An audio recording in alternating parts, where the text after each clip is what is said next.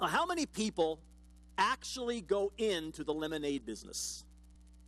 A lot of kids try their luck at, lemon, at lemonade stand at some point. Some even have a certain level of success with it. Maybe you were one of them. Any of you have success with a lemonade stand? But most people outgrow the desire to sell lemonade on the street corner. But there are really professional lemonade stands out there. You can usually find them at county fairs or at amusement parks. And some of those stands operate year round. So logic would dictate that some kid somewhere came up with the idea of turning a sidewalk lemonade stand into a full time business. Maybe it started one hot summer afternoon after seeing some of the other kids in town doing it. He thought, hey, this could be an easy way to make, make extra money. He got his dad to help him set up a rickety little stand. He talked his mom into giving up some of the frozen lemonade concentrate that she had in the freezer. Or if he is a California or Florida boy, maybe he went out in the backyard and actually picked the lemons off the tree and made fresh squeezed lemonade. The first day was successful. So he tried it again. And again. And again. Then one day he got invited to bring his lemonade stand to a middle school baseball game. And before long, he's upped his price to $2 a glass. Partly because his mom has now started charging him for the sugar and other supplies that are going into it, and she insisted that he buy his own blender. And partly because he finally got smart and realized people will pay more than 50 cents for a really good glass of lemonade. Things keep progressing. Pretty soon, he's got a lot of invita- invitations to bring his lemonade stand to all kinds of events. He's getting really busy, taking his lemonade stand all over town. Sure, he's making a really nice profit, but he starts to realize that things aren't as laid back as they once were. It's taking up more time than he expected. He's going through so many lemons that he has to special order them now. Even the local supermarket doesn't have enough lemons for him. The city found out about his little business, and now they demanded that he get a business license. He also has the health department checking up on him to make sure he's meeting all the local health codes. What started as a little hobby has now become a full time investment, a full time commitment. And in that moment, he has to make a choice. Is this going to be a hobby or is it going to be a career? He's got more invitations than he has hours in the day. Is he, is he going to hire a few employees to share the load? Of course, then he has to worry about payroll taxes and a whole other mess of things that he's never had to deal with before. So, what's he going to do? Some of you out there are thinking, maybe I should go into the lemonade stand business if it's that successful. Others are thinking, I wish that was my kid. I wish he'd have something productive to do and get off the couch. Well, there's a moment when we all have to make a decision. Is this going to be a hobby or is it going to be a career? Is this something I'm going to do part time or am I going to dedicate my life to this? Is this just for fun or is it something more? These kinds of moments aren't unique to the business world. I think a much more common experience lies in the realm of relationships. Watch this little clip.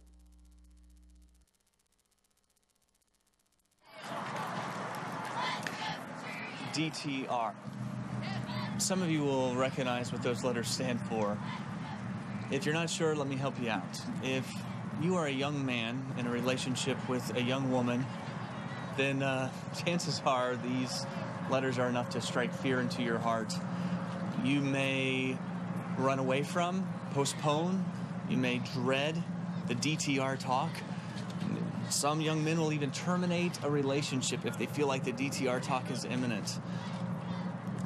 It is that official talk that takes place in every romantic relationship. Do you know what it stands for, DTR?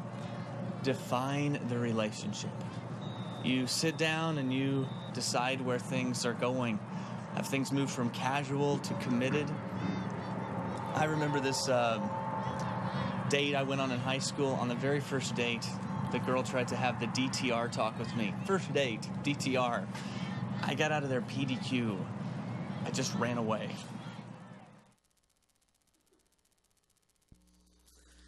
How many of you can relate to what Pastor Kyle's saying there? For Mindy and I, it was me that wanted to have the DTR talk. We'd only known each other for a little over a week. We hadn't even officially started dating yet, and I was all ready to tie the knot. The first day I met her, we met at a child, child evangelism fellowship day camp. She was a teacher's aide, and I was was doing all kinds. I was the gopher. I was you know running to town for supplies and bringing them back and moving tables around as they needed. We did it down at the park, and they had a train. They gave kids train rides on. And we met the first day of the day camp, and I went home the first day, and my mom said, "How did it go today?" And I said, "Great. I met the girl I'm going to marry."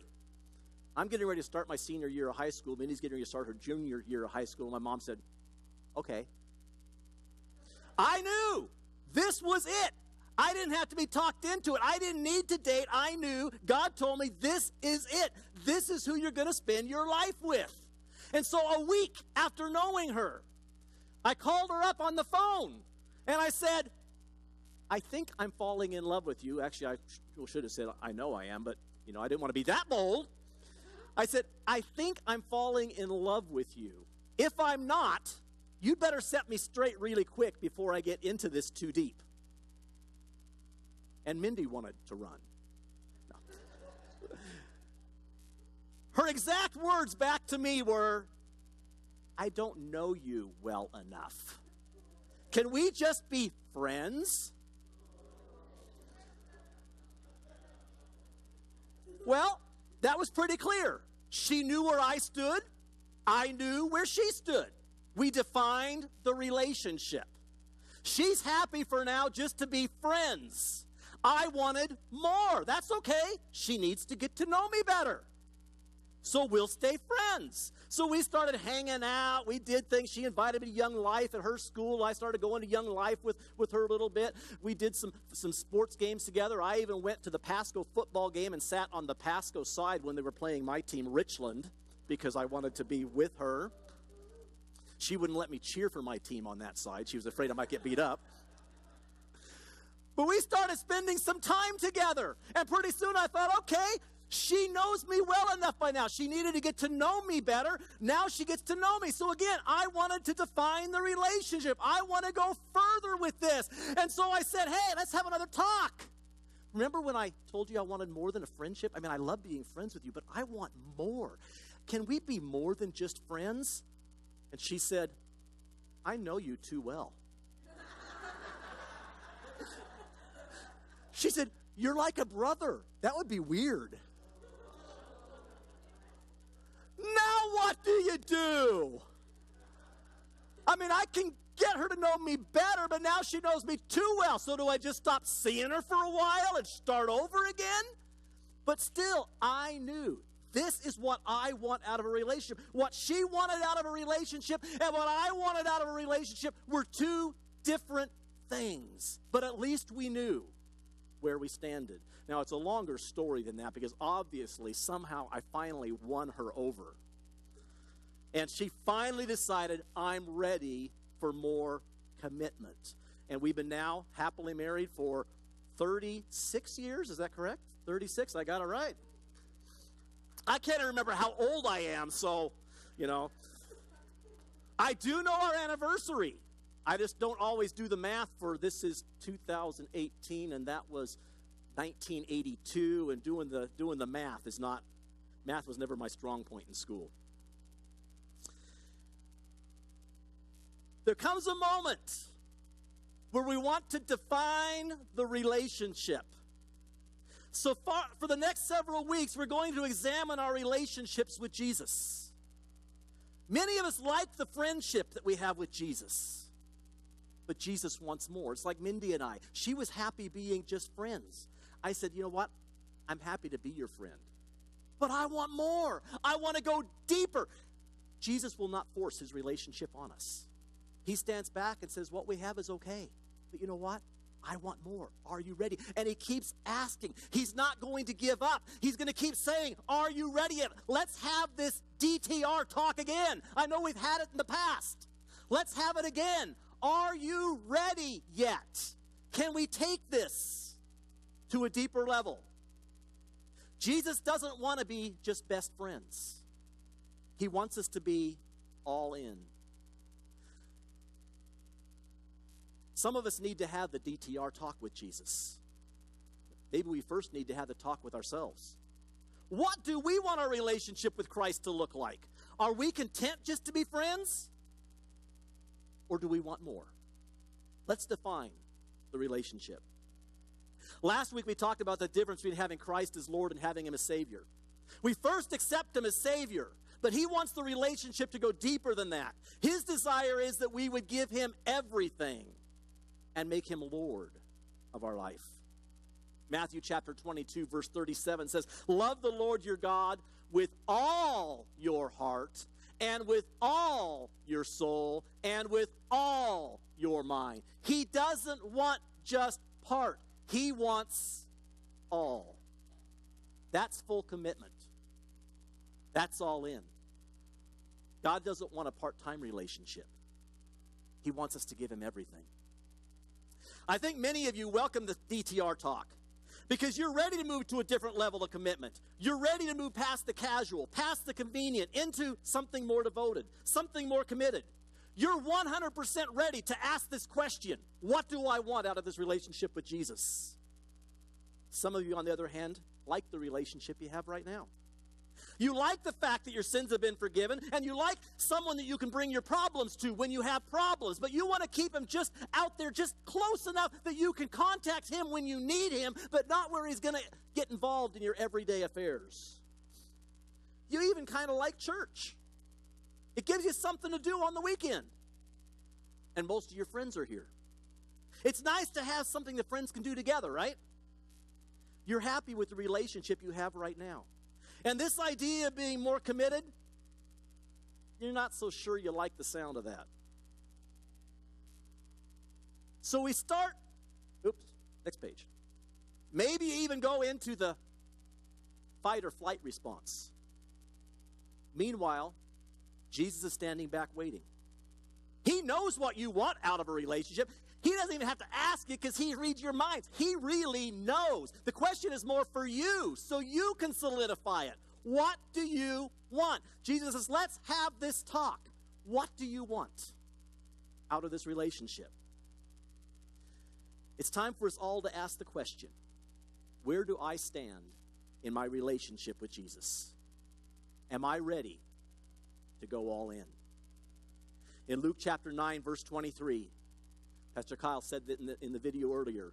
Then he said to them all, Whoever wants to be my disciple must deny themselves and take up their cross daily and follow me. So we're going to ask the question for the next several weeks Am I ready to take up my cross? Am I ready to deny myself? Am I ready to give it all up? We're going to be asking the question using the words Am I a fan or a follower? Do, do, I just like Jesus or am I totally committed? Am I following him?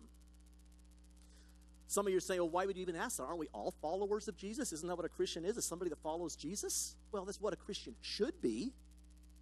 But we all know people who aren't truly following Jesus. So don't jump to your conclusion too quickly. Don't just automatically say, I'm a follower of Jesus.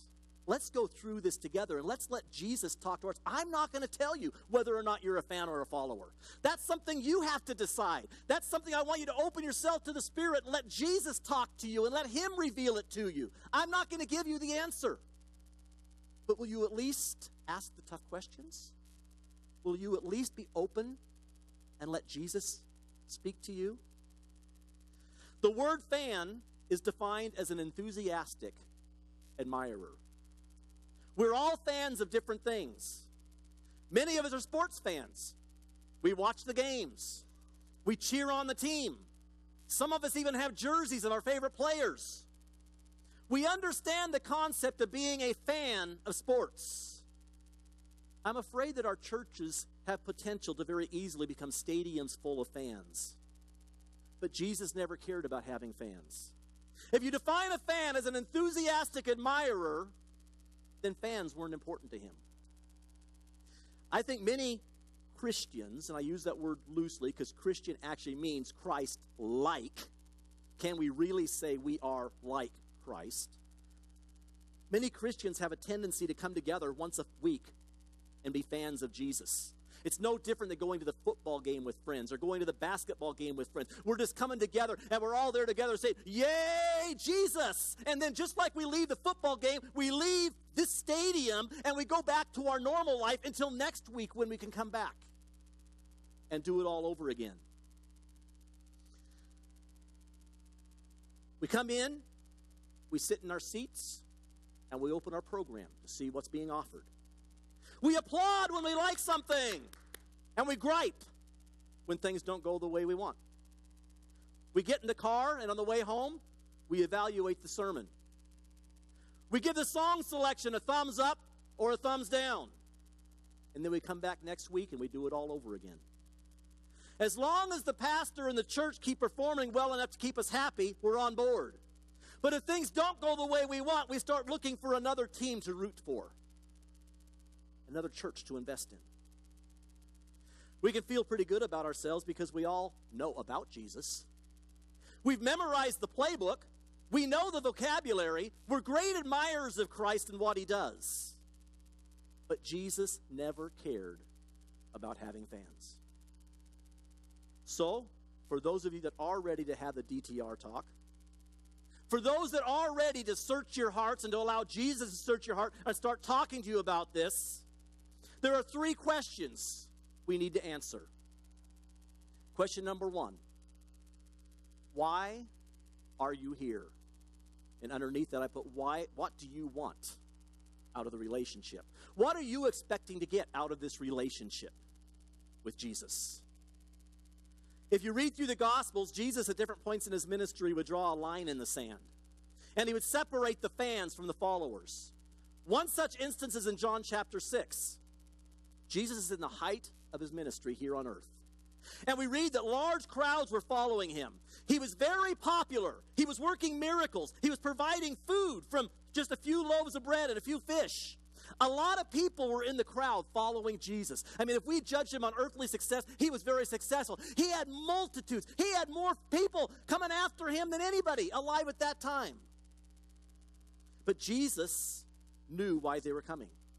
In verse 2, it says, The people were coming because of the miracles. You can read that for yourselves. It says, Many people were coming to him because of the miracles he performed. The main reason the crowds were showing up was either because Jesus put on a great show and they wanted to see it, or because they needed a miracle in their own lives and they expected Jesus to do something for them. They didn't really care about his teaching or about the life changing he could give them. They were simply there for the show and how it made them feel. So, why do you come every Sunday? What's your because? Is it simply because it's habit? I was raised that way and I don't know what I'd do if I wasn't in church on Sunday because that's the way I was raised? Is it because you feel guilty if you're not there? Oh, shame on me, I'm not in church. Is it because all your friends are here? So it's your one time each week to reconnect? Is it because you like the music? Why is it that you come? What is it you expect to get out of this relationship with Jesus? At some point, you need to define the relationship. So, Jesus, knowing why the people are following him, challenged his fans to a deeper, more intimate relationship. And in verse 66, we read this From this time, many of his disciples turned back and no longer followed him. Why? Because they realized Jesus wanted more than they were willing to give. So they stopped following him. They didn't want to have the DTR talk, they didn't want to go deeper.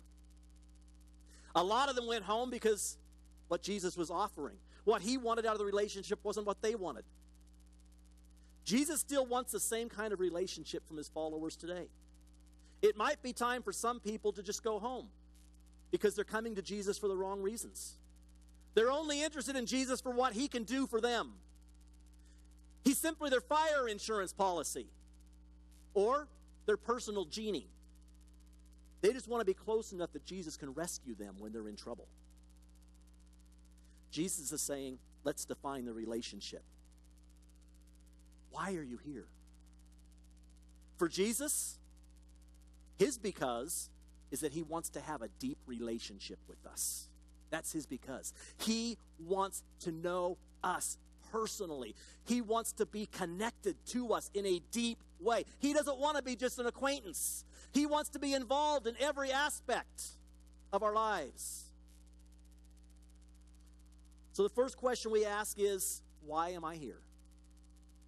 The second question, am I all in?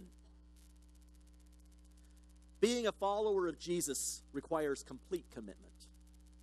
A follower of Jesus will do whatever it takes to follow Jesus. They're absolutely loyal, completely committed.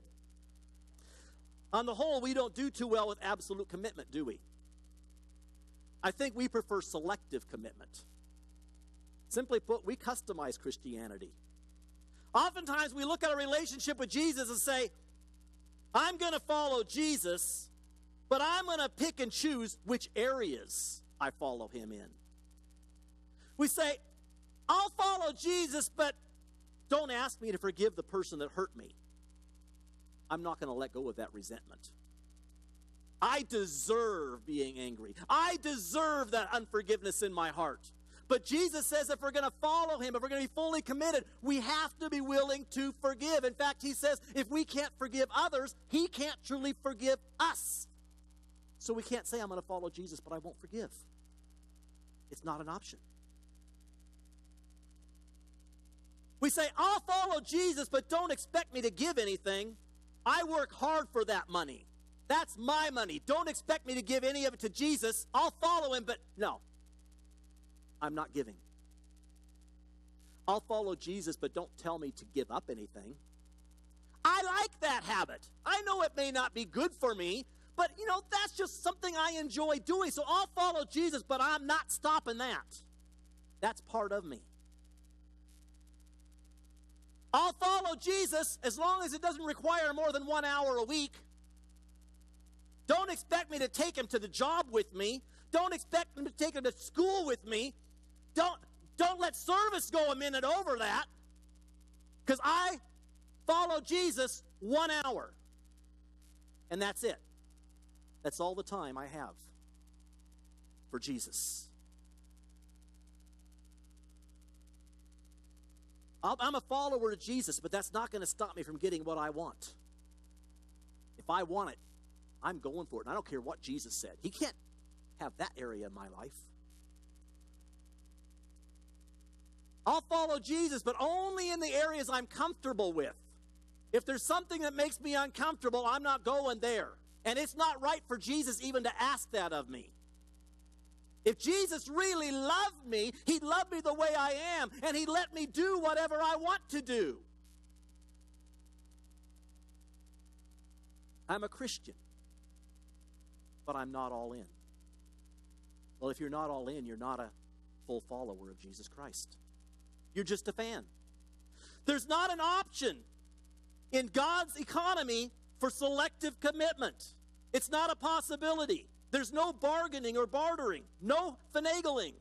When you decide to become a follower of Christ, you've got to go all in. And fans don't like the idea of going all in. They're not wild about having to make sacrifices or about having to deny themselves of something that they desire or crave. Well, if you answered the first question, then you probably have already answered the question whether or not you're all in. If you aren't here for the right reasons, chances are you won't be willing to go all in either.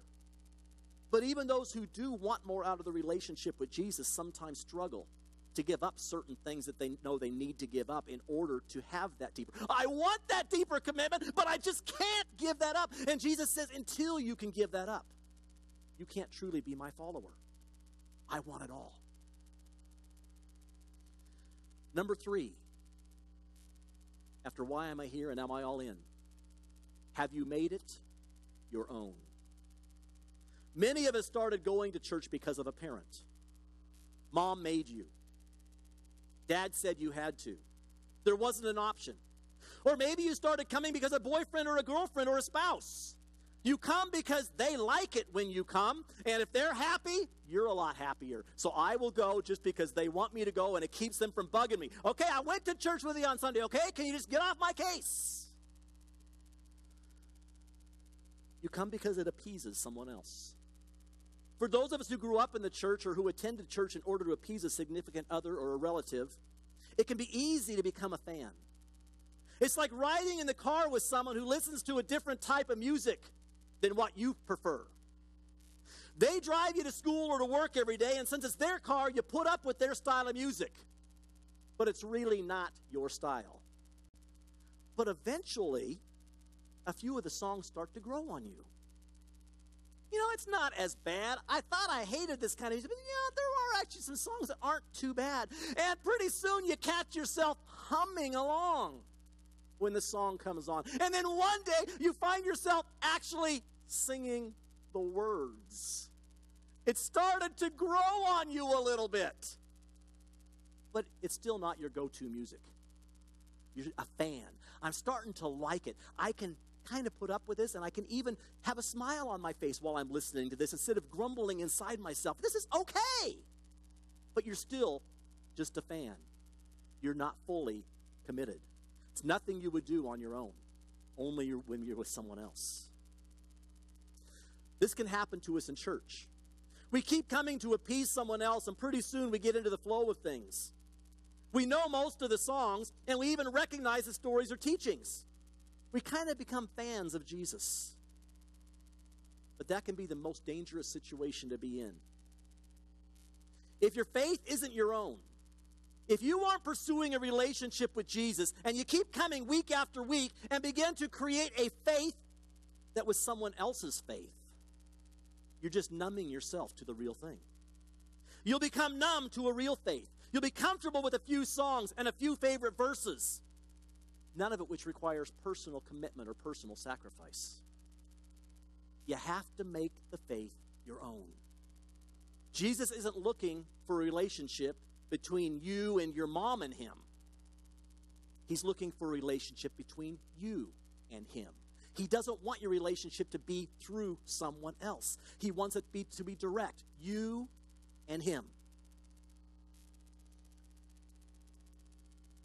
That might be one of the reasons that Jesus said in Luke 14 26, If anyone comes to me and does not hate his father and mother, his wife and children, his brothers and sisters, yes, even his own life, he cannot be my disciple. Now, we know Jesus didn't really want us to hate our mothers and fathers and hate our brothers and sisters and hate our children. But in comparison to our love for Him, see, if we're putting our relationship with somebody else before our relationship with Him, we're not all in. He says, You need to love me more. Love them, yes, but when we love Him the way we should, it helps us to love those people more. See, so if we can learn to put them aside and say, my number one commitment is Jesus Christ. He is my first love. I am pursuing that relationship. Then He filters that down. And then all of a sudden we find out that unforgiveness that we had, it starts going away because His love starts flowing with us. And all of a sudden we realize, you know what? I wasn't really ready completely to give up that unforgiveness. But it's gone because I've developed that relationship with Jesus Christ. This isn't about what your mom and dad want, or your spouse wants, or your parents want, your grandparents want. It's not about what Pastor Jerry wants. This is about you and Jesus. You know what Jesus wants.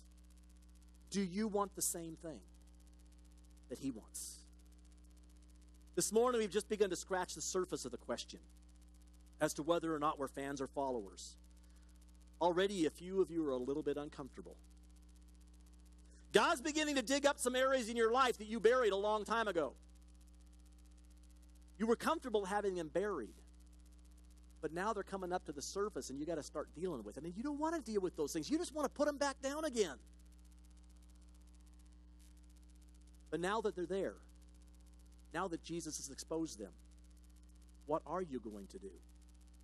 It's time to define the relationship. You can either run and ignore the question, or you can have a heart to heart talk with Jesus. Sort it out. I hope you'll join us tonight as we dig in deeper because we're going to continue with this question define the relationship. What does Jesus want and what do I want? Is it the same thing? And once again, I'm not going to be giving you the answers. It's for you and Jesus. I just want to provide the questions so you can start asking those questions and let Jesus speak to your heart.